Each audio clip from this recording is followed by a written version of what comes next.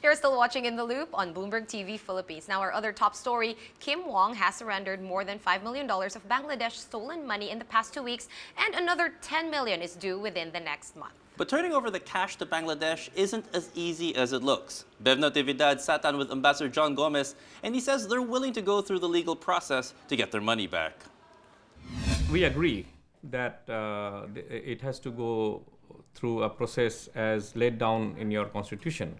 And I have discussed this with the Secretary of Department of Justice. But he told me that uh, since this money was already signed by us, uh, he would do his best to expedite the process so that uh, this money can be transferred as quickly as possible. So that gives me uh, uh, a hope that uh, it's not going to take so much of time. But I don't know exactly uh, what are the time frame, but uh, it should not be uh, more than say two, two to three weeks.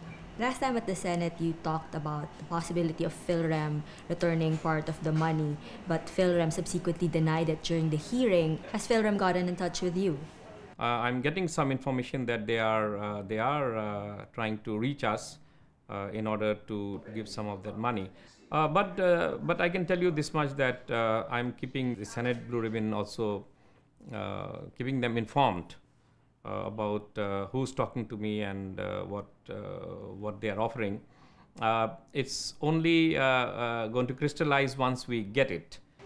Your government has also conducted some investigations. What have you found so far with regard to the hacking?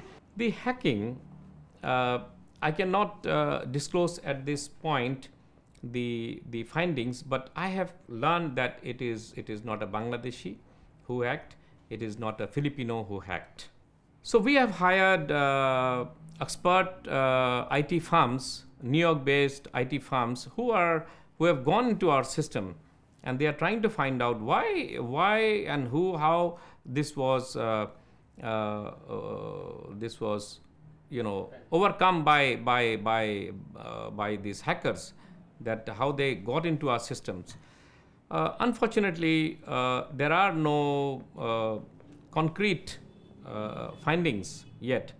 So there has been no arrest made in Bangladesh, and uh, so. But but one thing is for sure that Bangladesh has gone. They've, they have taken this very seriously. All our agencies are working together. Do you at least assign some responsibility to RCBC in considering that Pan Asia was able to recover um, stop payment the, of the money in Sri Lanka, and RCBC wasn't able to do the same. If you compare uh, Sri Lanka and uh, if you compare Pan Asia Bank and RCBC, it appears like that, right? That they could uh, stop the payment, they could, uh, they found out there was a mistake. So, uh, but here the RCBC receives the money and then eventually it disappears. From that point of view, I have I've uh, mentioned earlier also. I have no doubt. I have no doubt, absolutely no doubt that uh, the senators, uh, you know, they are doing their best. Uh, they are not a court, right? They are not a court. So they are trying to find out exactly what happened, and they're spending a lot of time, so many hearings, hours together to find out who are actually responsible have you talked to RCBC or Lorenzo Tan, perhaps? I mean, he said in the Senate that if found guilty, he's willing to talk to the board for the return of part of the money.